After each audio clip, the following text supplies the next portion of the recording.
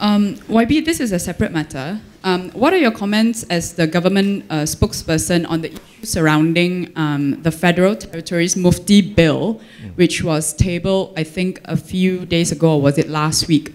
Um, whose idea was this, and who was consulted before this? Because we know that um, the ruler of um, Perlis has spoken out about it.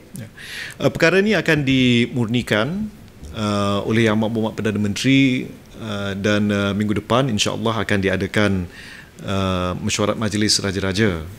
Uh, itu adalah peluang yang baik dan Yang Amat Perdana Menteri juga telah memaklumkan Jemaah Menteri bahawa pandangan-pandangan yang telah disampaikan uh, titah tuanku uh, Raja Perlis uh, ini semua menjadi garis panduan untuk kita memastikan undang-undang mufti tersebut mencapai maksud dan hasrat uh, asal